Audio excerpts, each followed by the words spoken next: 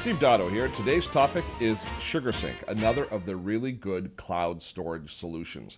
Now, you're forgiven if your eyes start to spin a little bit when we start talking cloud storage because there are so many contenders out there from uh, Apple's iCloud to Microsoft Solution to Google Drive to Dropbox and SugarSync. I'm going to bring another one to the table here talking to you about SugarSync. But I like SugarSync. I think it, along with Dropbox, are two of the best solutions as far as cloud storage goes. And it offers a very different philosophy on cloud storage than Dropbox, which is why I like it. It will appeal to a different sector of people. Now, where Dropbox is very simple and very, very easy to understand how it works. You have a Dropbox folder, it's synced to the internet. You can access that Dropbox folder from multiple computers. Very simple and straightforward. Anybody can use it. SugarSync requires just a little bit more forethought because what happens with SugarSync is you don't create a new SugarSync folder that's shared. Instead, you manage and share your existing folders, determine which ones on your devices you want to share, and then enable sharing from that. It's a subtle but important difference in how it works because we have to manage the process a little bit more, but it also means that SugarSync can possibly fit better into your productivity work style into especially if you if you've got a really good system of file management stuff that you already use whereas if uh, in Dropbox if you have a file system management system that you already use you need and you want to share those files you have to move them into Dropbox which might break your system let me show you. Let's dive into it. SugarSync is free to try. They give you a little bit more storage than most of the others. They give you five gigabytes right out of the box. And of course, you can add storage by getting your friends to sign up. They'll give you free storage. And you can purchase it for uh, about $5 a month for probably more than enough storage than you'll ever need. But let's take a look at the app itself it installs just like Dropbox. See my little Dropbox icon here? It installs in your toolbar here. Mine is actually doing a little bit of a sync right now. That's why I don't see the little hummingbird uh, icon, but I, instead I see the syncing icon.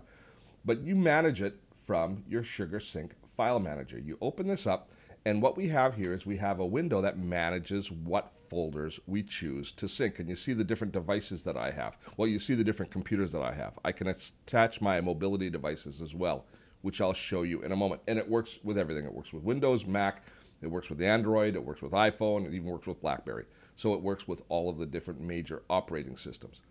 So what we see here is we see my office computer identified right here. And these are the folders that I choose to share from my computer. Now I can add more folders to sync just by clicking the sync folder, add sync folders. And then it looks at the main folders on my computer. If I want to, I actually have another drive attached. So if I want to access the fold, uh, folders on that other drive to share, I click here and it brings me deeper into my file management area. But for the most part, you are going to have a series of folders, a document series, maybe some with images, uh, business graphics, that sort of thing that you want to share between devices. Once you assign the sharing here, it then chooses those folders and syncs them to the cloud and then syncs them to your other devices. It's great if you want to make sure you have the exact same folder on multiple different computers.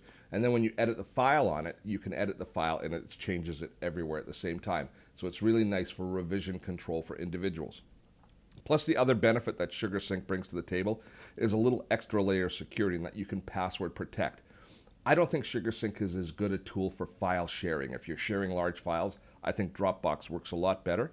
But if you have a system where you're working within that system and you want to be able to, to, to work with that system and have certain folders that you have access to at all time, then SugarSync might be just the ticket.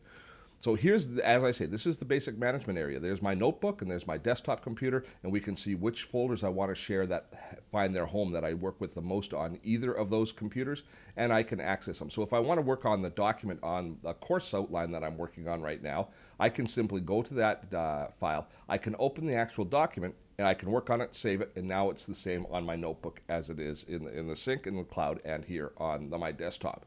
So it works very simply and effectively from that perspective.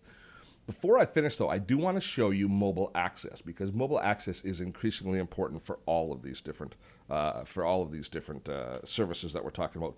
And for SugarSync, uh, having access to uh, to our iPhone or iPad or Android device is is also crucial. So here we see my iPhone is up, and I'm going to go into my productivity tab here.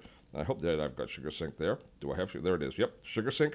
I tap on the SugarSync icon and up comes SugarSync. Now the difference is I don't see, when I'm in my file manager on the computer itself, I don't see my mobility devices, that's because no device, no, no documents actually live on this device. It's more about having this device being able to access my computer, the, the different device, the different documents that I have on my other computers.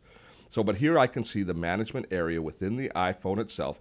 And if I want to see the files that are on my office computer or my notebook, I tap there and we see the same file structure.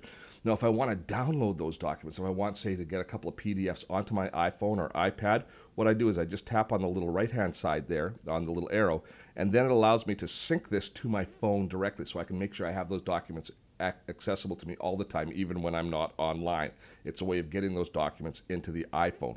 And this process works the exact same on the iPad. Sorry, just bumped the mic there.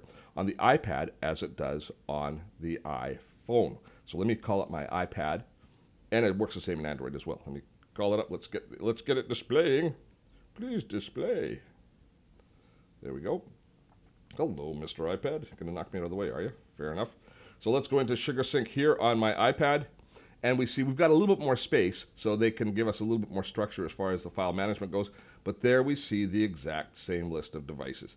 Now I can go into my Office Macintosh just like I did on my iPhone. I have the same choices as far as being able to see all of my documents, and if I tap on the little right-hand arrow, I can sync it to my iPad as well. Now SugarSync also incorporates some extra nice features around sharing and backing up your photos and your music.